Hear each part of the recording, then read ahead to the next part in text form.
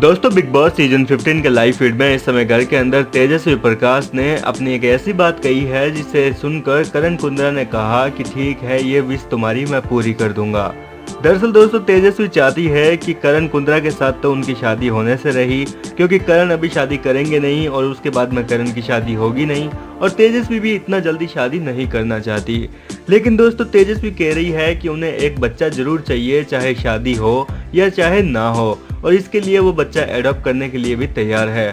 लेकिन ये सुनकर करण ने कहा कि तुझे बच्चा अडॉप्ट करने की कहाँ ज़रूरत है?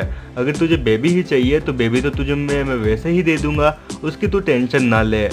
और रही बात शादी की तो कोई बात नहीं हम शादी नहीं करेंगे लेकिन बच्चा तो पैदा कर ही सकते हैं ना। ये सुनकर तेजस्वी ने भी कहा कि बात तो तेरी बिल्कुल सही है और मैं इस पर ज़रूर गौर करूँगी। तो वहीं करण ने भी कह दिया कि तू टेंशन ना ले हम बिना शादी भी अकेले अकेले रह सकते हैं। लेकिन बेबी की टेंशन बिल्कुल भी मत लेना बेबी तुझे मैं वैसे ही दे दूँगा। फिर दोस्तों, देखना दिलचस्प होगा कि क्या करण कुंद्रा और तेजस्वी प्रकाश बिग बॉस के बाद में शादी भी करते हैं या नहीं, क्योंकि इनकी बातों से अब बिल्कुल भी ये नहीं लग रहा कि दोनों कंटेस्टेंट घर को छोड़ने के बाद एक दूसरे के साथ शादी करेंगे। फ़िलहाल दोस्तों, आपको क्या लगता है, क्या तेज रन शादी करेंगे या नहीं, आप हमें कमेंट करके अपनी राय ज़रूर बताएँ। यदि आप भी तेजू और करण के फ़ैन हैं तो वीडियो को लाइक करना बिल्कुल भी ना भूलें।